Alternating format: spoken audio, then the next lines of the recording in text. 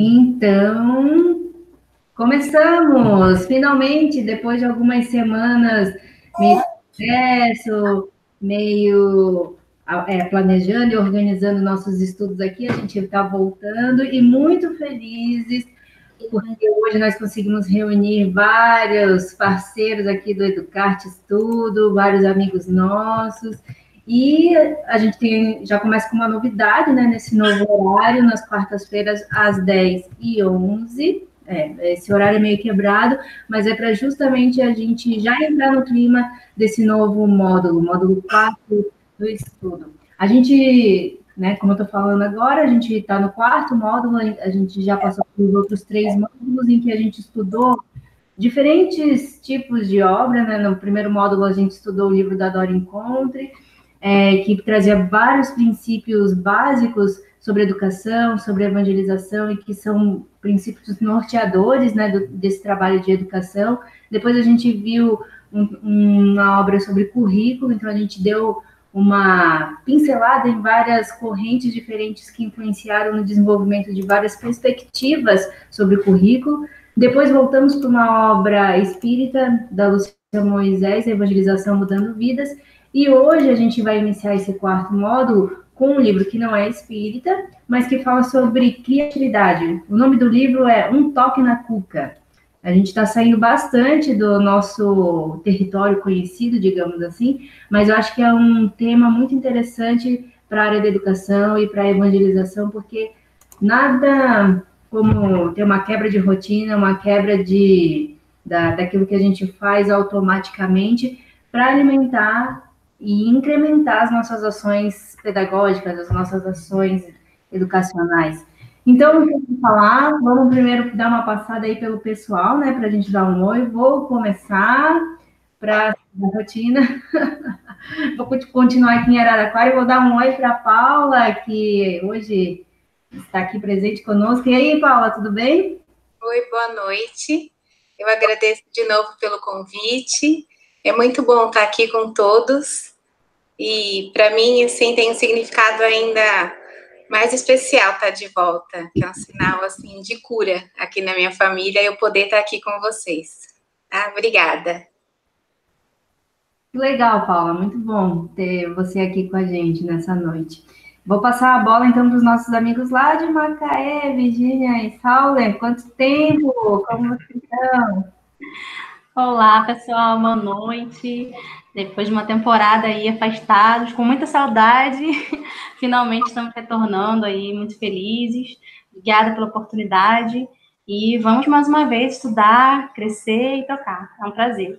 É isso aí. Agradeço também o fato de nós estarmos retornando e com o desejo de contribuirmos, né? Contribuirmos também com toda a nossa experiência, essa parte do toque na mente, é, toque na, na cuca, desculpe, é realmente uma coisa que a gente já vem fazendo até em outros cursos, acredito que vai dar para agregar bastante. Muito obrigado, gente.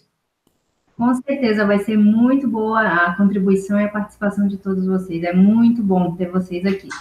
Vou passar a palavra para os nossos amigos de Floripa, Percy, Milene, Felipe. E aí, como estão?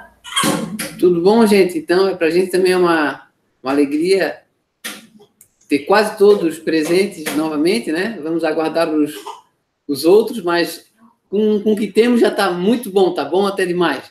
Nada que impeça a volta dos outros também. Então, vamos lá, que vai ser um, uma temporada de estudo muito legal e vai brotar muita coisa boa aí para os nossos trabalhos, com certeza.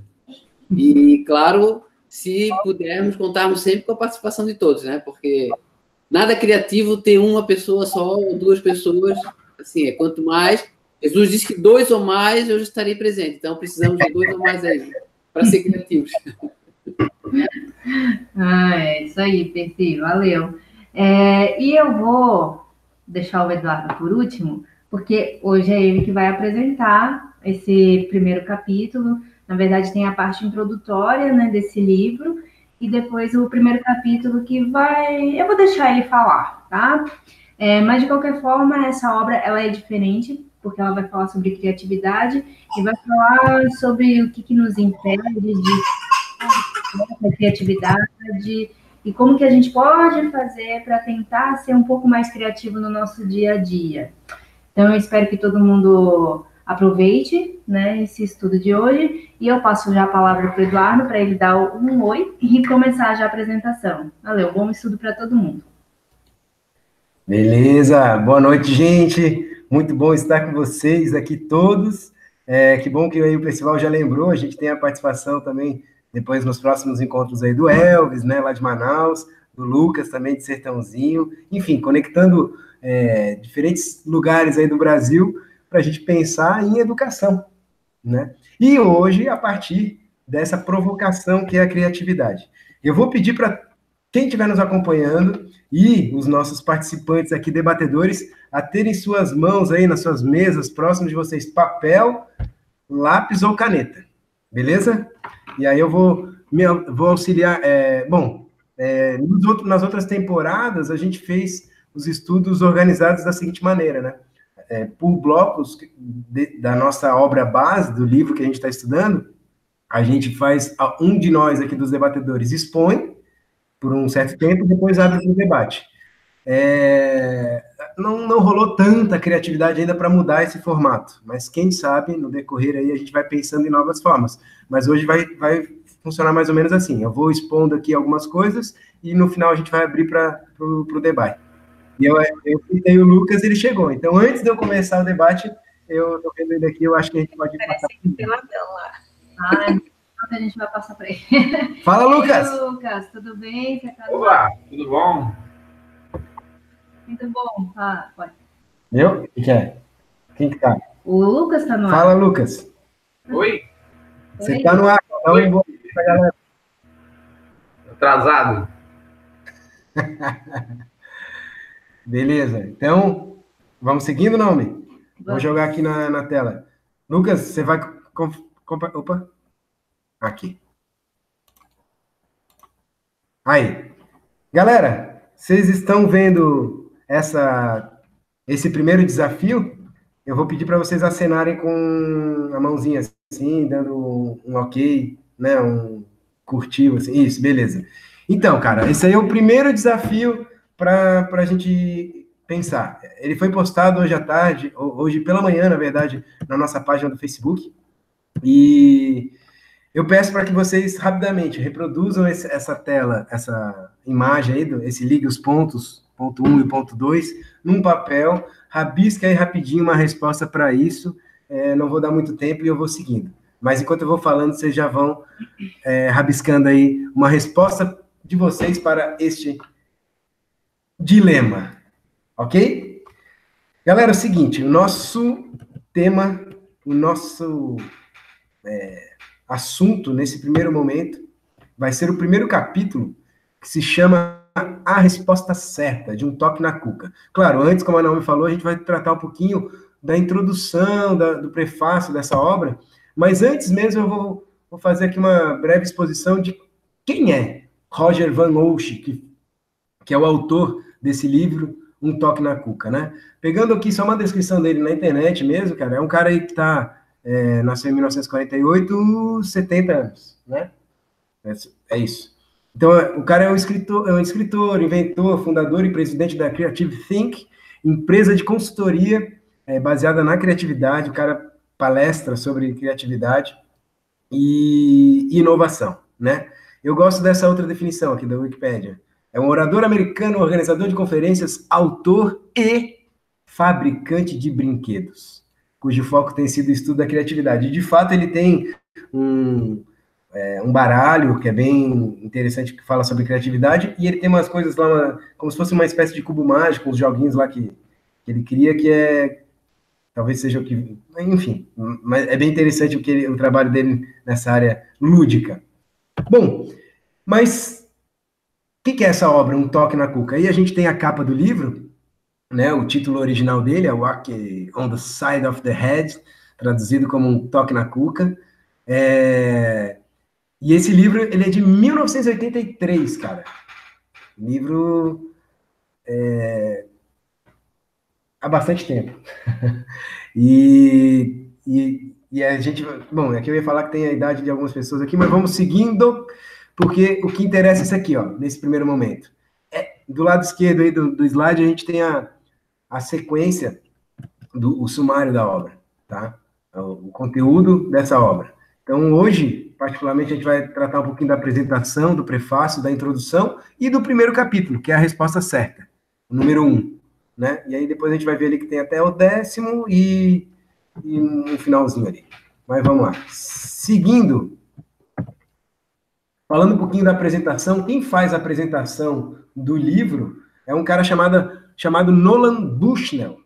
E é, o Nolan, ele é engenheiro elétrico e ele é o fundador da Atari, né? Para quem teve videogame, jogou um Atari, tem ali as, esses retratos dele, né? Todos esses aí são o Nolan, né? A primeira ali em preto e branco, um pouquinho na, na época em que ele inventou o Atari e ou como está hoje, Nolan.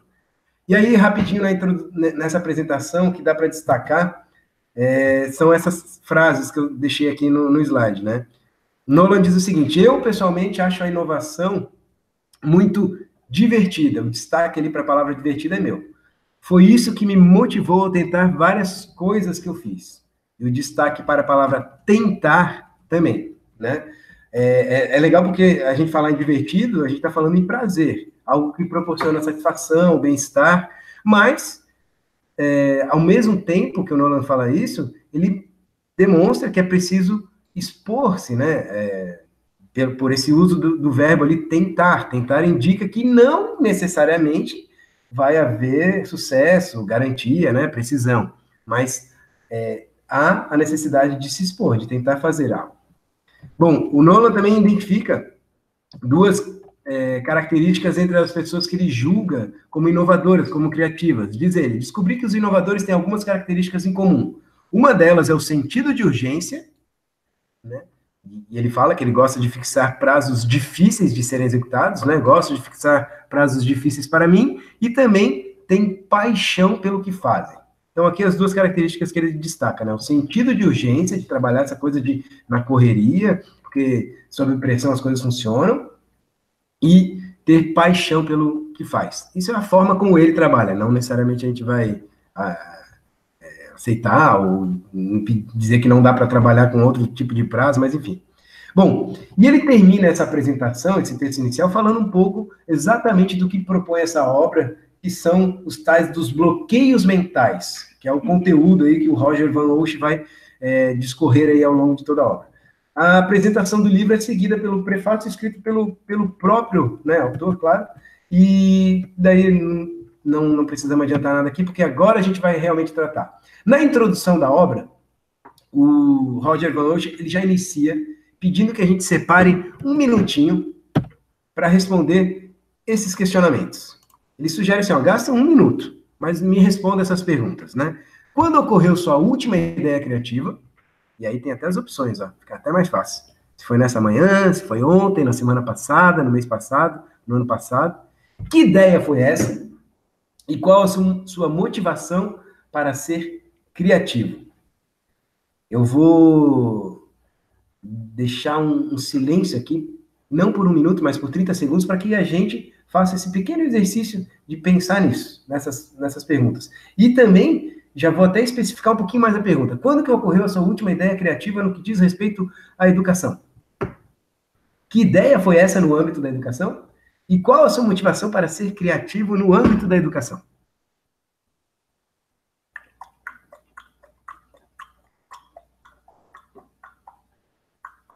Lembrando que vocês têm papel e caneta aí, então, se possível, dá uma rabiscadinha aí, guarda essa ideia para a gente poder compartilhar depois e utilizá-las também no nosso debate. Tranquilo? Seguindo. Bom, na introdução, é, o nosso amigo Roger Van Osch, ele trata exatamente, é, ao falar em ideias novas, ele, ele mostra para gente que o, o, pensamento... Opa, calma aí que eu estou no slide errado. Aqui, ó. Ele, ele se pergunta, então, mas por que ser criativo? tá? Para o Roger Van Osch, que vai gastar uma obra inteira sobre isso, ele lembra de dois grandes e bons motivos. Primeiro, porque a gente tem, vive num mundo de mudanças e é, mudança significa que existem novas informações disponíveis, acessíveis, e se você tem novas informações, novo material, obviamente que o, a forma de resolver os problemas também serão modificadas. Então, num mundo de mudanças, não dá para ficar pensando sempre igual, porque o material que você utiliza, que é o conhecimento para pensar, vai ser diferente. Logo, as soluções vão ser diferentes. E os problemas serão diferentes também. Então, por que ser criativo? Uma, porque a gente vive num mundo de mudanças, que requer, então, novos pensamentos, né, transformações. E outro, que eu acho que é uma coisa interessante da gente pensar, que é divertido, que causa prazer criar. O pensamento criativo, segundo Roger Van Osch, é o sexo da nossa vida mental. Né? Então, tá aí. Seguindo, o nosso autor vai tratar do pensamento criativo. E aí ele, ele discorre um pouquinho para exatamente para falar que o conhecimento, os saberes, são a matéria-prima para o pensamento criativo. Mas a necessidade que o inovador tem de assumir um outro tipo de comportamento, né, mais ativo, mais questionador, que vai realmente garantir com que ele consiga colocar esse conhecimento é, em favor de uma criação. Ou seja, o Roger Van diz que conhecimento é matéria-prima para as ideias criativas. Porém, não basta ter conhecimento. Para se ter a ideia, é, as, as, transformações, ah, o, o pensamento inovador, a gente precisa de uma outra postura. A gente precisa de uma, uma postura mais ativa, questionador, capaz de assumir outras perspectivas, é, com, conseguindo combinar, trocando funções, significados, por aí vai. A verdadeira chave para tornar-se criativo, diz ele, está no que você faz com o conhecimento que tem. Por isso que a gente vai reconhecer é, pessoas criativas que não necessariamente têm conhecimento, mas porque tem essa postura, e aí consegue ser criativo dentro do seu repertório, como também pessoas que detêm muito conhecimento, mas que não conseguem ser criativos porque não, não manipula toda essa matéria-prima para o processo criativo.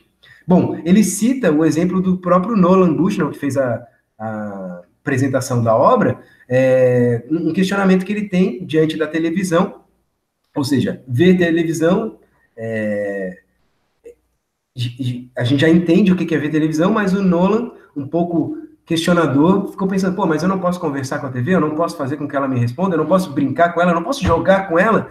E desses questionamentos e também do seu conhecimento, lembrando que ele é engenheiro elétrico, ele desenvolveu o, o, o primeiro videogame, né? E aí tem ali a referência ao tal do Pong for Home TV, o super jogo que ele desenvolveu e que é o precursor dos videogames aí. Tranquilo? Seguindo. Mas por que, que nós não pensamos em coisas criativas com mais frequências? É, pergunta o autor, ainda na introdução. E aí ele indica dois motivos. Primeiro, um, porque não é preciso. Diz ele: se você se levantasse de manhã e começasse a questionar o significado da torrada, provavelmente não chegaria ao trabalho. Ou seja, permanecer nos trilhos do pensamento de rotina possibilita que a gente faça o que tem que fazer sem pensar, ou de uma forma mais uh, automática, porque o resultado já esperado já é o previsto, enfim, por aí vai. Então, em muitas das situações não há necessidade.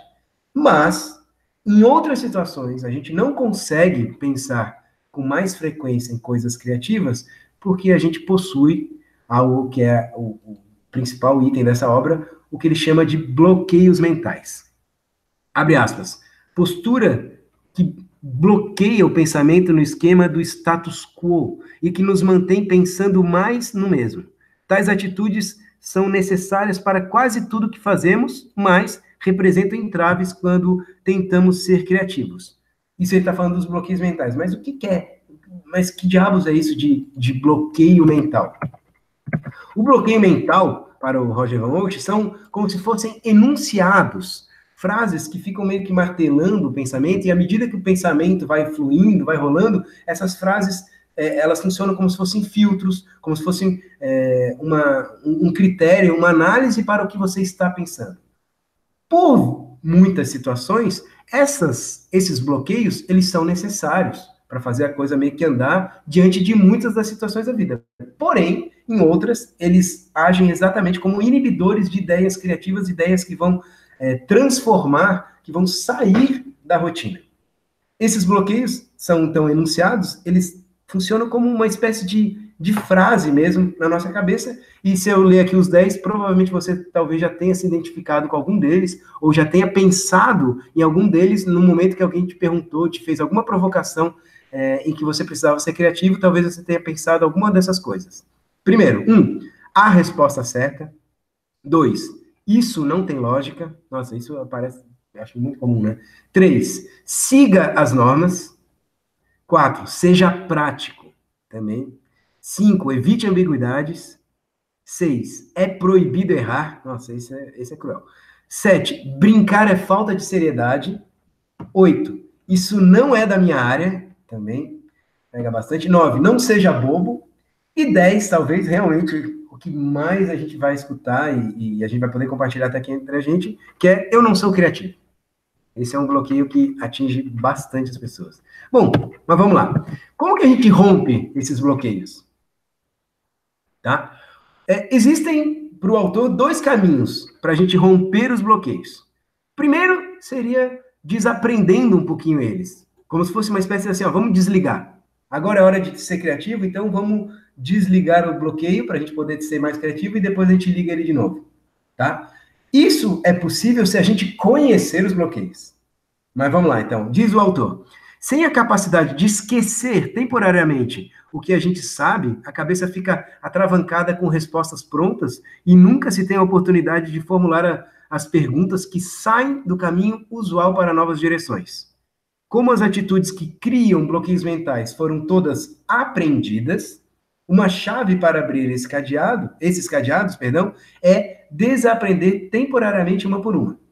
Então, se você consegue reconhecer um bloqueio como esse, opa, você já consegue, ah, não, aqui eu estou me bloqueando. Desliga ele rapidinho, tenta gerar ideia, depois, se for necessário, religa e por aí vai, tá? É, o Roger Van Osch, ele descreve que esses bloqueios, eles surgem exatamente por uma questão de, de convivência, de praticidade do dia a dia, e também pelas nossas crenças, né? A escola tem um papel bem, bem forte na, na, criação de alguns desses bloqueios, a religião, a mídia, a família, enfim, são é, a, a nossa inserção na sociedade faz com que a gente crie alguns desses bloqueios. Bom, mas a outra outra forma de você acabar rompendo esse bloqueio é por meio de um toque na cuca, que inclusive é o título do, do livro né, na versão traduzida. É, Todos nós precisamos, às vezes, de um toque na cuca para nos livrar dos padrões rotineiros, nos forçar a repensar os problemas e nos estimular a fazer novas perguntas que levem a outras respostas certas. É, o toque na cuca são aquelas situações, circunstâncias que, cara, mesmo com bloqueio, a gente acaba sendo mexido, nos provoca, são provocações. E aí o, o Roger Van Osch, ele enumera na, na obra ali algumas, alguns exemplos de toques, eu vou só colocar alguns aqui para gente, e diz aqui, ó, é, ele pode ser provocado por uma demissão ou por você não, não receber um aumento por merecimento, ou seja, cara, foi alguma coisa que te sacudiu e faz você pensar diferente. Pode acontecer quando você está procurando um nome para um novo cachorrinho de estimação e seu filho Felipe, de quase um ano de idade, diz: opa, não, não é isso que está dizendo, né, Percival? E seu filho de três anos diz: ele vai se chamar quatro horas. Pode ocorrer quando, depois de ficar duas horas tentando resolver o problema, você faz uma pergunta que é exatamente o contrário da que orientava a abordagem anterior, e isso resolve o problema. Talvez aconteça por alguém lhe mandar flores sem nenhum motivo, você fica intrigado e nessa, nesse, essa situação de, de desestabilização já pensa diferente, ou pode ocorrer, decorrer de um paradoxo, como por exemplo, o que acontece com o seu colo quando você se levanta? ele desaparece, né? Sei lá. Enfim. É, onde que eu tô? Beleza. O primeiro bloqueio daquela lista é a resposta certa. Então a gente vai agora tratar um pouquinho desse primeiro bloqueio, tá? É, para falar do primeiro bloqueio, é, o Roger ele inicia com uma reflexão acerca de onde que nós aprendemos a pensar, né? Em que situação da nossa vida que a gente aprende é, como sujeito assim, a, a pensar nas coisas. E ele aponta a escola como um local, né, uma instituição muito responsável né, nessa estruturação do nosso pensamento. A escolarização, o ensino, ele nos, ele, ele, ele, tem uma carga enorme na nossa vida e ele é responsável por muito da forma como a gente utiliza a linguagem, o pensamento e por aí vai. E aí diz o Roger Van Ocean, o seu treinamento educacional fornece muitos dos conceitos que você usa para ordenar e compreender o mundo. Né? A gente aceitando isso, a gente vai seguir da seguinte forma. Opa, me perdi. Aqui, ó. Reconhecendo essa grandiosa função né, da escola, desse sistema educacional, o Roger ele também aponta o problema que no formato do sistema escolar, né, do sistema do ensino, que está pautado na busca por uma única resposta certa.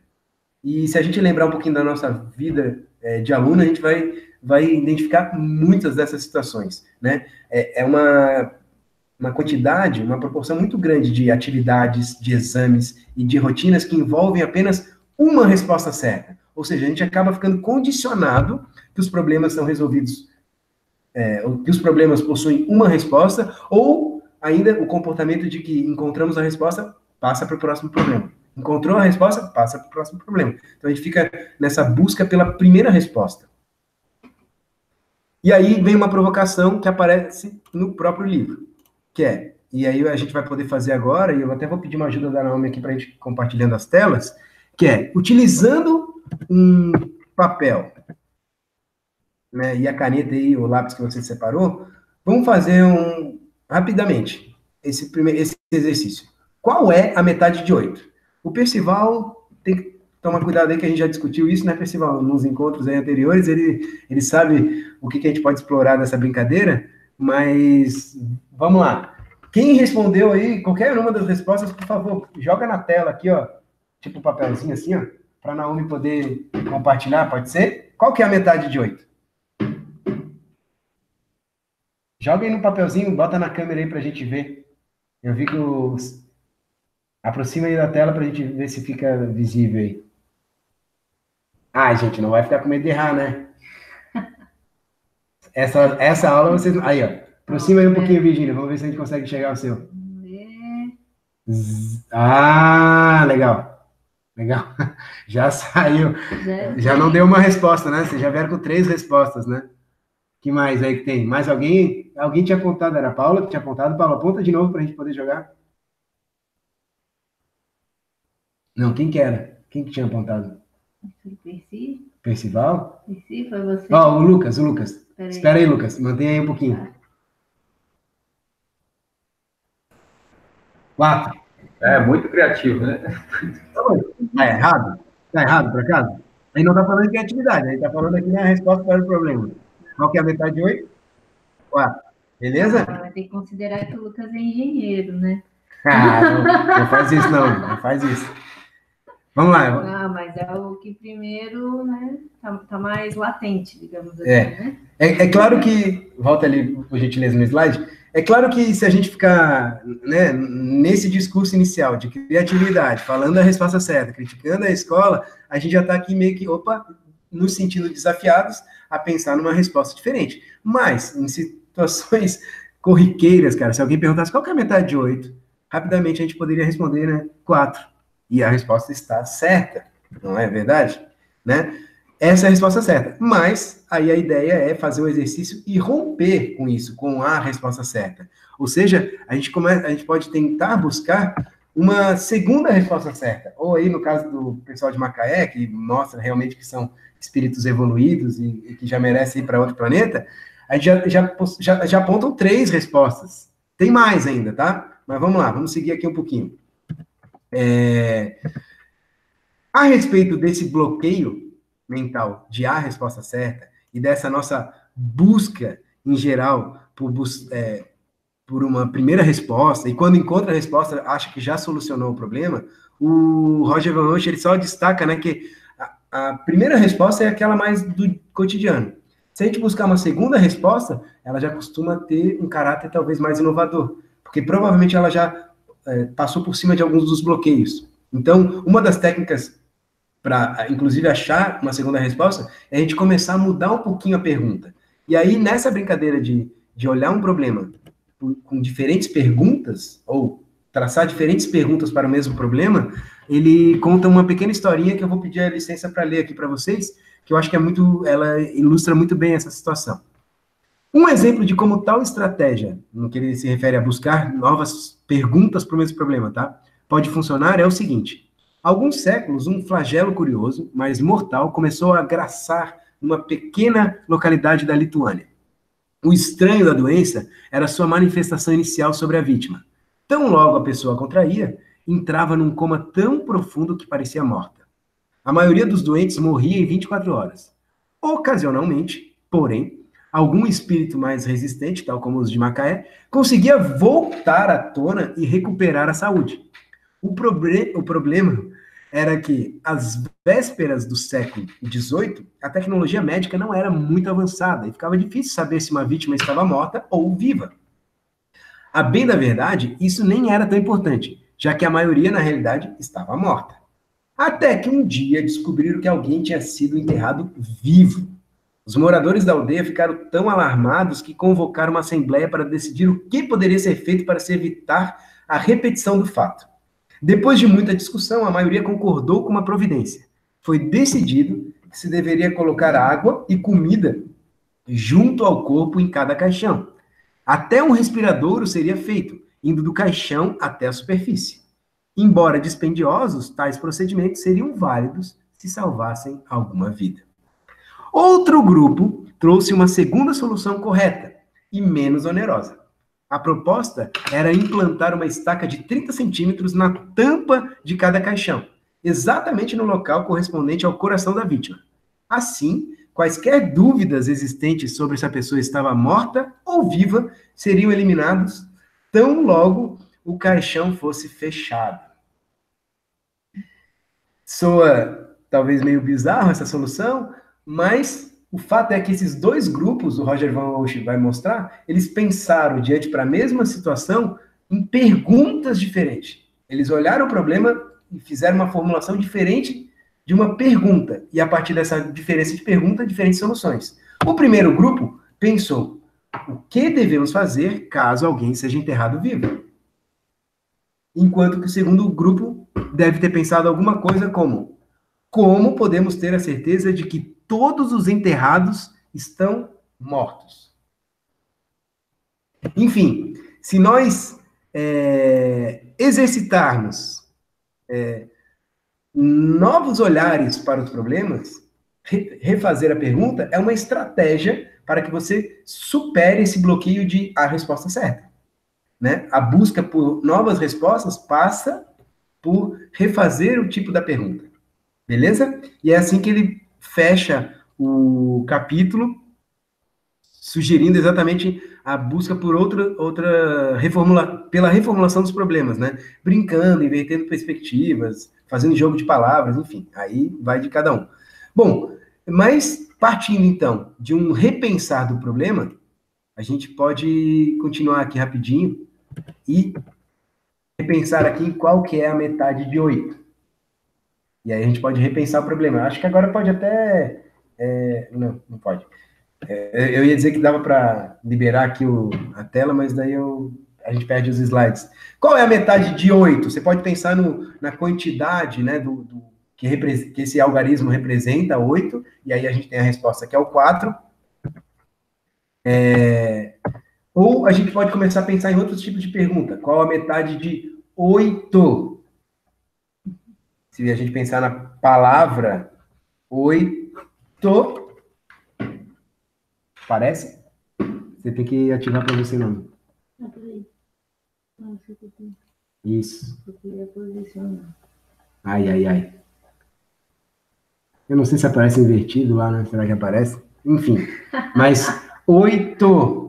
Pode ser oi. A metade de oito pode ser oi. Pode ser to. Pode ser a palavra cortada num corte long, latitudinal, longitudinal. Pode ser tal como fez o pessoal de Macaé, a representação do algarismo mesmo cortada, que parece um 3, ou parece uma letra E, né? Ou só um zero ou um O. Não sei se eu falando fica visível tudo isso.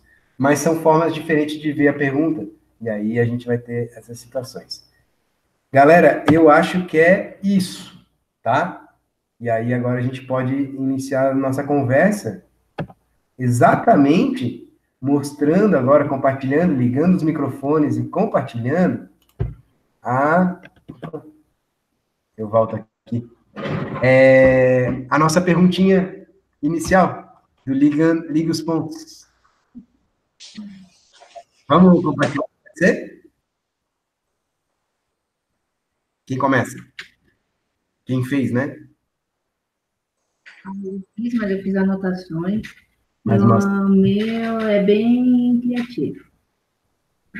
Liga os pontos. Um e dois. Na tá verdade, ligado? assim, ó, quando eu fiz o primeiro traço, ele não ligou, tá? Aí ele foi para baixo, daí eu tive que fazer um remendo aqui.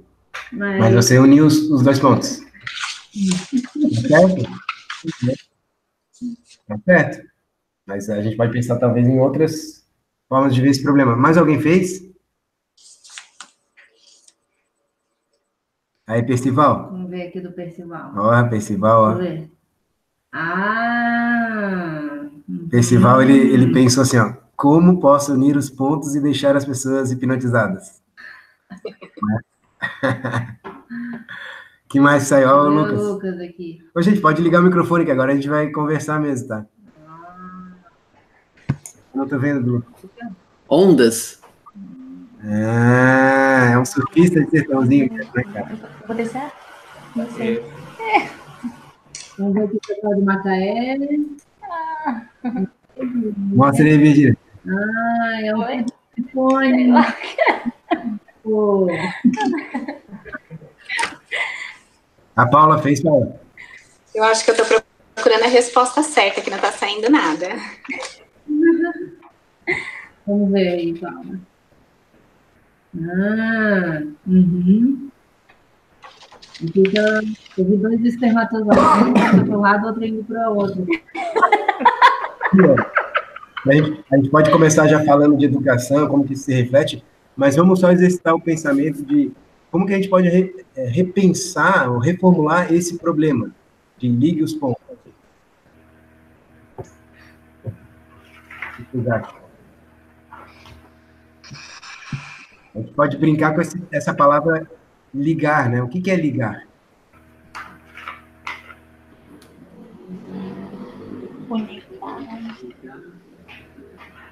Unir. Unir. Esse é, esse é o, o que qualquer pessoa que lê e já conhece, né? Esse repertório com esse tipo de exercício, vai fazer, vai pensar que é unir um. A gente poderia pensar no ligar com outro significado. Ah, pensando na palavra unir, eu imaginei uma outra forma de ligar eles. Como? Isso aí. Dobrando assim a folha, assim, ó. Assim. Ah, garoto. Show. nisso também. Legal? Também dá, né? Aí o Lucas também fez.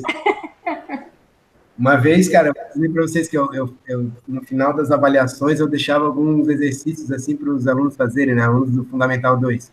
Uma vez um deles desenhou uma tomada, duas tomadas. E aí saiu do ponto o, o conector da tomada lá, sei lá como é que é o nome, e ele ligou os dois pontos. Eu, cara, eu achei sensacional. Eu pensei, esse moleque aí vai, né? Criativo. Achei sensacional. Mas é isso. Vamos lá, deixamos aberto aí para vocês, não?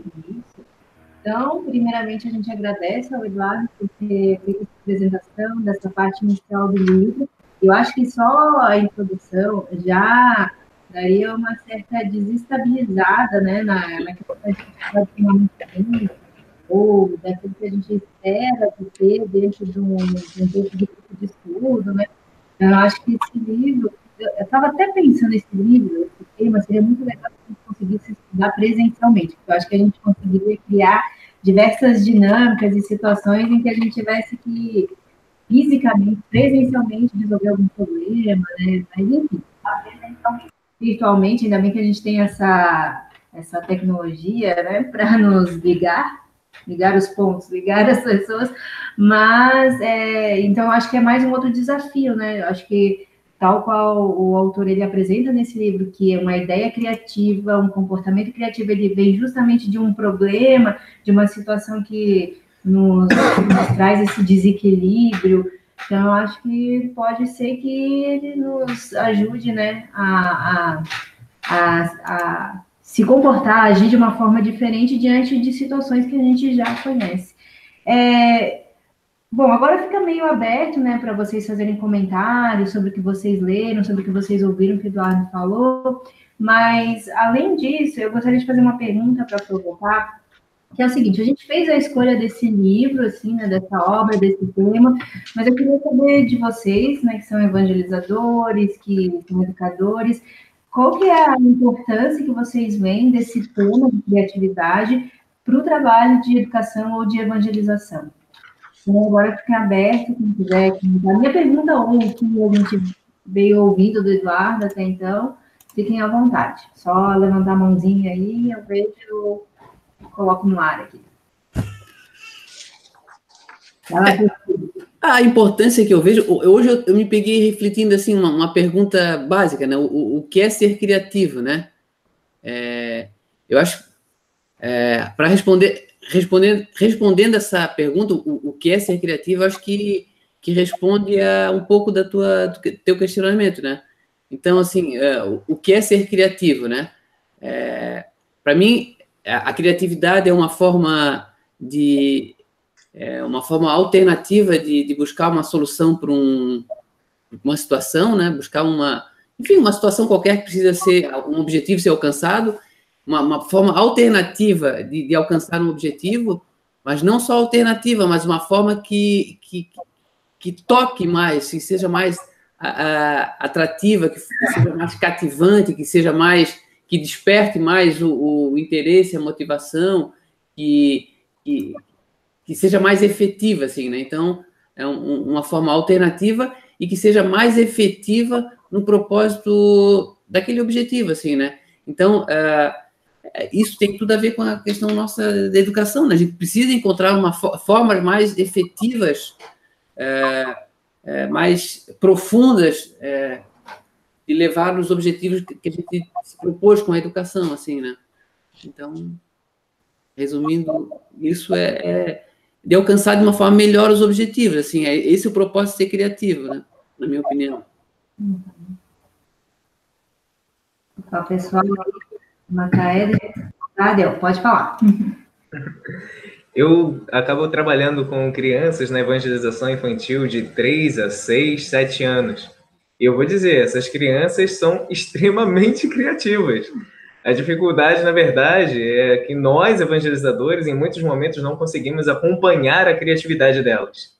O fato de nós abrirmos a nossa cachola, né, e graças a esse livro vai auxiliar bastante para que a gente consiga desenvolver outras outras fontes, outras ideias, é aquilo que foi falado, né? Você olhar o que todo mundo está vendo e você conseguir transformar aquilo porque você consegue perceber situações diferentes. As crianças fazem isso com muita facilidade e nós não conseguimos acompanhar.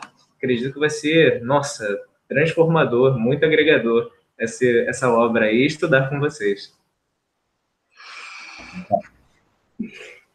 Gente, eu particularmente, quando eu vi o Eduardo fazer uma proposta no grupo, me mexeu assim profundamente, porque como lá na evangelização a, a regra, né, a norma, é seguir os mesmos temas da palestra, muitas das vezes cai de acontecer o mesmo tema. Então, como ser criativo num tema que já demos duas, três vezes? Como inovar? E as crianças pedem, clamam isso de forma indireta, porque ainda existe muito aquela visão de que, ah, parece escola, ah, tem dever, tem exercício. Como explicar o mesmo tema de formas diferentes, estimulando o raciocínio lógico deles, a criatividade, a inovação. Então, eu sempre me pego nisso. E aí, lendo a introdução hoje do livro, eu falei, gente, eu preciso transformar a minha mente, abrir a minha caixola para poder auxiliá-los. Então, nossa, estou muito feliz com essa oportunidade que vai ajudar bastante.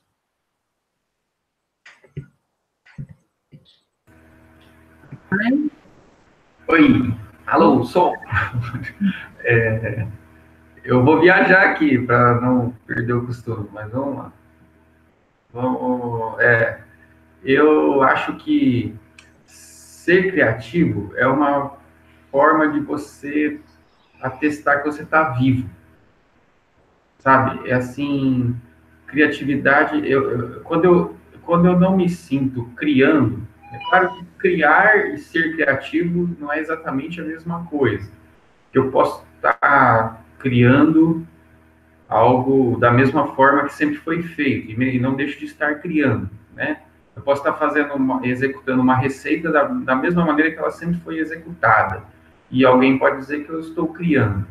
Mas vamos usar o criar como ser criativo, fazer algo que nunca foi feito antes ou melhor, pensar algo que nunca foi pensado. Talvez até já foi pensado, mas não por você naquele momento. Então você pode estar sendo criativo você mesmo com a determinada situação ou determinado objeto que você está criando. E quando você é, é senhor de um ato criativo, você se sente Deus, né? Você se sente vivo, se sente vivo. E como que o espírito pode é, avançar, crescer se ele não amplia a sua visão, se ele não é, reconstrói a sua forma de pensar, se ele não age de maneira criativa, né? A criatividade é algo que nós herdamos do Criador. Né? É a própria característica de Deus estar sempre criando. Né? E a gente se sente vivo quando cria. Quando a criança tem esse poder, quando o adulto, então, que há muito tempo não criava, sente esse poder, ele se sente livre, se sente, eh, como está na moda, empoderado, né? Então, assim, eu acho que é simplesmente é, essencial e fundamental, mas agora é muito mais uma questão, na minha opinião, de fomentar a atitude criativa diante das coisas, o pensar criativo, o ser criativo, né? Muito mais assim, não matar a criatividade que já, existe na criança, né? E, e, e tornar isso algo que é, ele, é, o, a gente possa incorporar do que é, porque é, é, é, quase como aquela questão que a gente já discutiu várias vezes aqui, né? Como que eu ensino, como eu educo moral? Como é que acontece o processo educativo da parte moral? Ele é um despertar que alguém, que uma convivência com alguém, ou um processo de troca com outro espírito, isso vai surgir. Da mesma forma, a gente pode fomentar e ou como disse o, o como o autor propõe aí, ele, ele na verdade de, a gente meio que já é cria, criativo ou de uma outra forma a gente já é criador porque a gente é filho do criador é que a gente bloqueia isso e é por isso que muitas vezes a gente fica infeliz porque não consegue é, ser criativo na, na, na forma como a gente lida com a vida né? Então, eu acho que é ser cria, criativo é exercer a nossa a nossa filiação aí, né? A, nossa, a herança maior que a gente recebeu do, do grande criador de tudo. É, então, a gente se sente vivo, ativo, é fundamental isso, né? E está ligado a estruturas de pensamento. E a gente sabe que as estruturas de pensamento criam todas as formas, materializam todas as realidades do espírito. Então, o espírito que não está criando, provavelmente está parado e doente. Doente.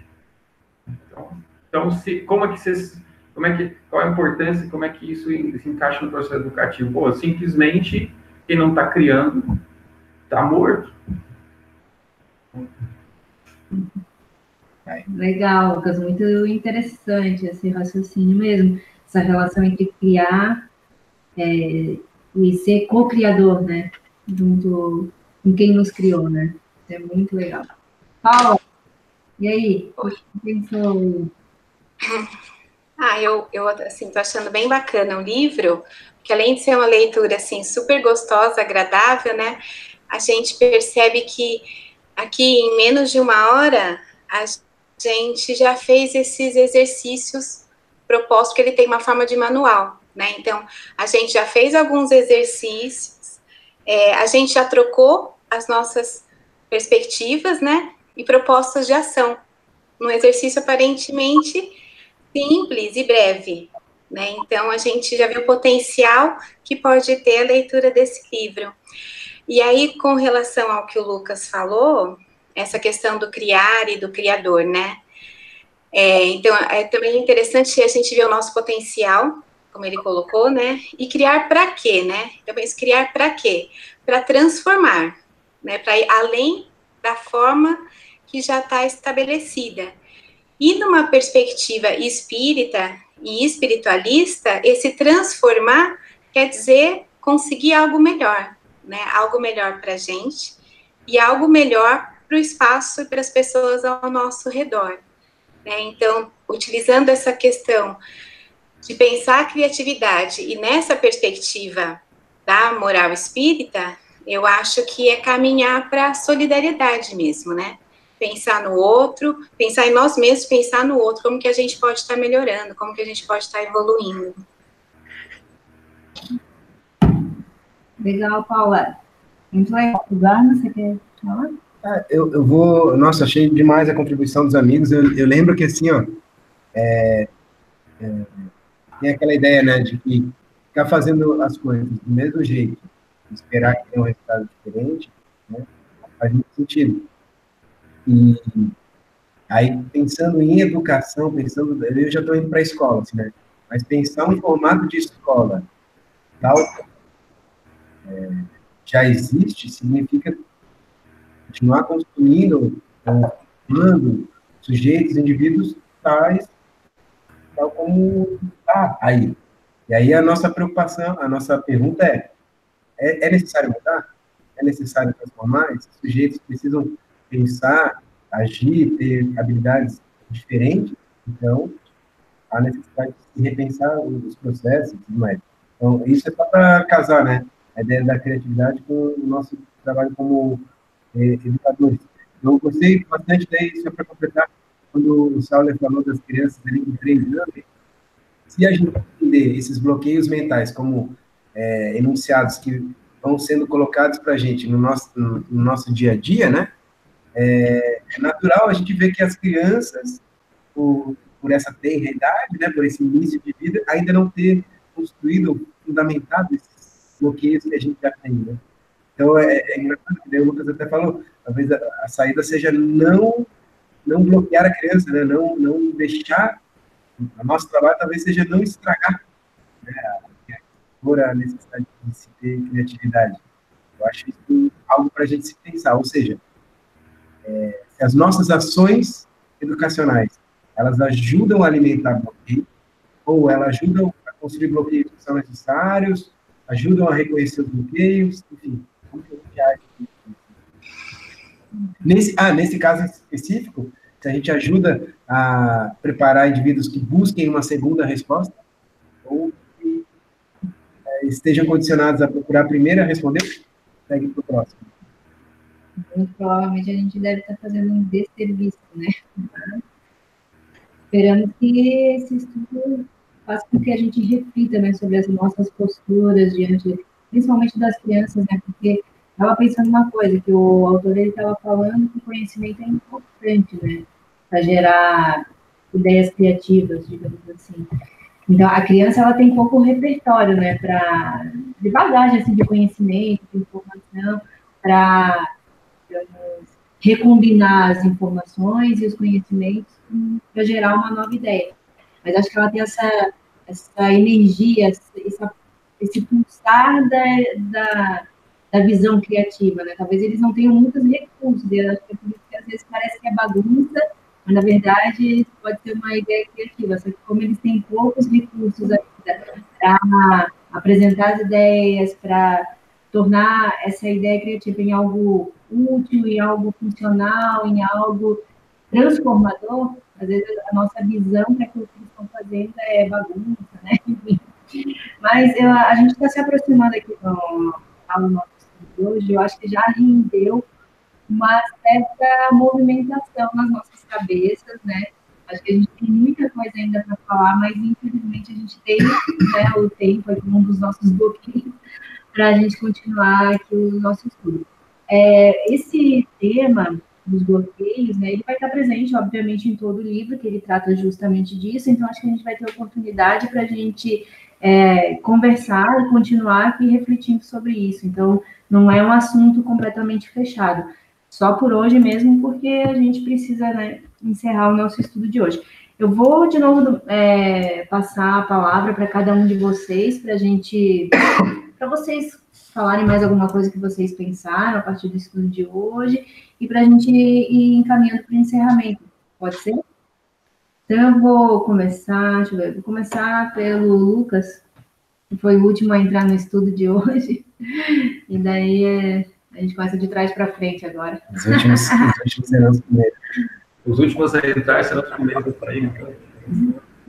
É.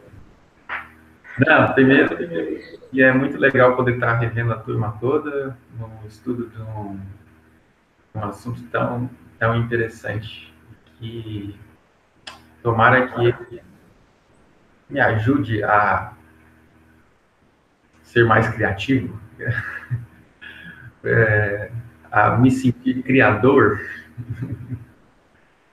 E, e é muito bacana poder estar discutindo com, essa turma tão positiva com vocês. Então, só gratidão por poder estar com vocês. Valeu, então.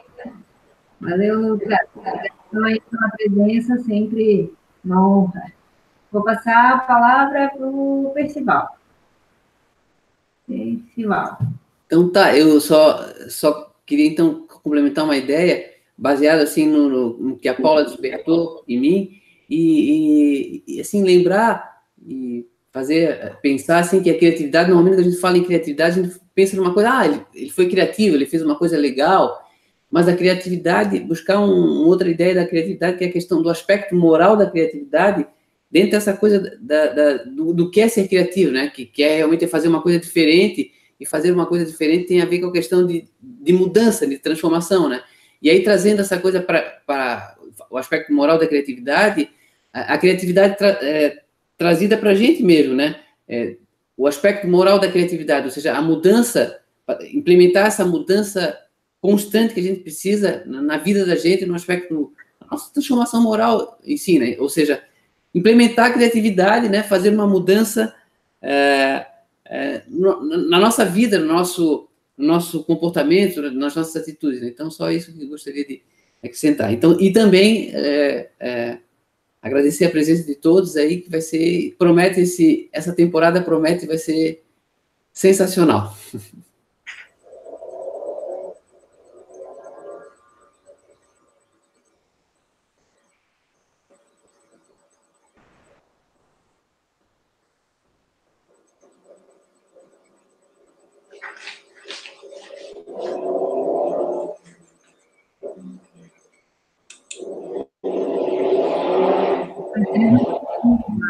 Agora sim. Eduardo fechou o microfone.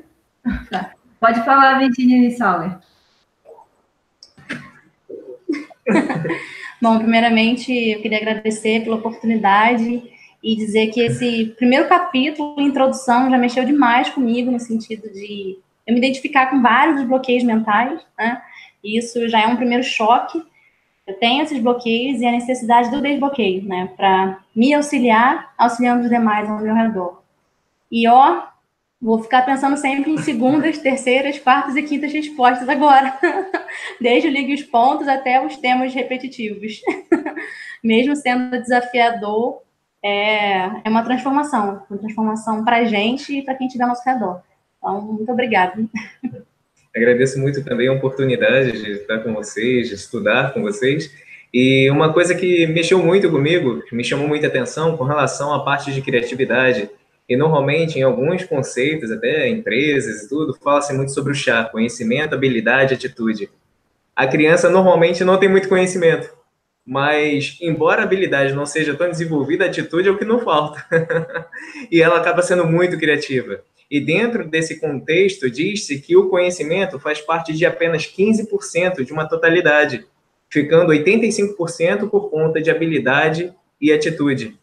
Quando nós ficamos mais velhos, a gente tem muito conhecimento, só que a gente trava na habilidade e na atitude, ou tendo muita habilidade, tem pouca atitude, e as coisas não avançam.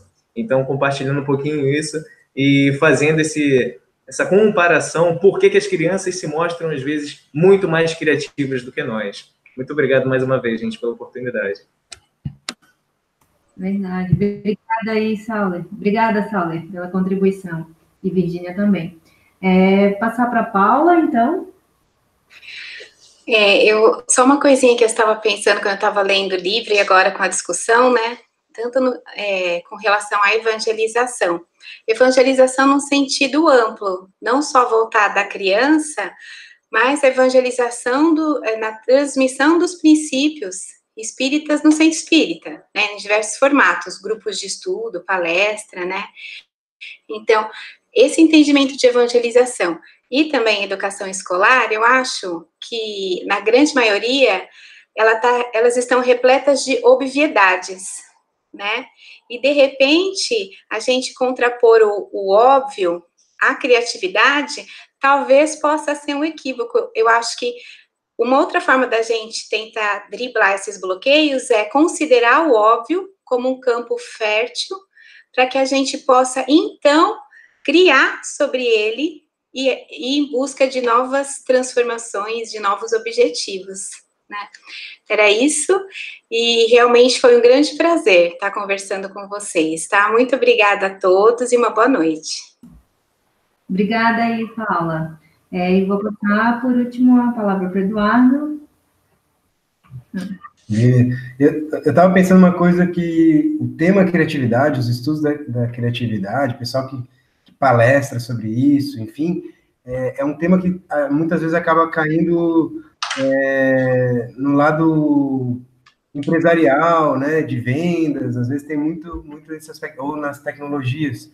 E é, e é, um, é, interessante, a gente, é claro que tem muita gente que discute isso também na educação, mas acho legal mesmo a gente dar mais uma carga disso para o lado da educação, para se pensar em diferenças, para a gente não carregar apenas só essa ideia da, da, da produtividade, da, da, eficiência, eficácia, não, não é isso necessariamente, né? A gente está tá, tá exercitando é, novos olhares, novas formas de, de pensar e tornando isso uma ferramenta a nosso favor, exatamente para os problemas e desafios que a educação tem de monte, assim, né, diariamente. Então, é, eu estou bem esperançoso aqui com essas discussões e com os amigos, acho que o negócio vai ficar muito mais gostoso mesmo de refletir.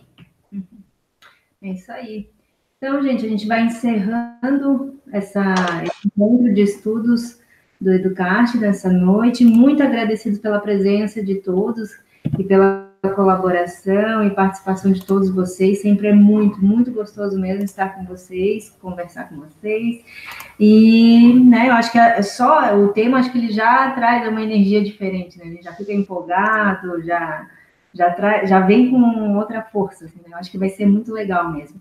É, e eu encerro o estudo de hoje é, resgatando que a gente não falou sobre aquelas perguntas que você trouxe no, que o livro traz, né? Quando que teve a ideia, ah. qual que foi a ideia e o que, que te motiva a ser criativo, né? É, eu acho que a gente pode compartilhar entre nós, mas eu queria lançar um desafio da gente tentar é, trazer essas perguntas para o nosso dia a dia durante essa semana para ver, para a gente ficar atento se a gente está tendo atitudes é, criativas, se a gente está conseguindo agir de maneira mais criativa, pensamento mais criativo, para a gente tornar isso um pouco mais consciente no nosso dia a dia, digamos assim, tá? Lançado o desafio. Então tá bom, a gente se vê semana que vem, então. Uma boa semana para todos. Você pode encerrar com essa tela aí, então. Ah, então tá, peraí, vou encerrar. Então tá bom. Beijo para todos e até semana que vem. Vou deixar um pouquinho dessa tela. Não sei se tá passando.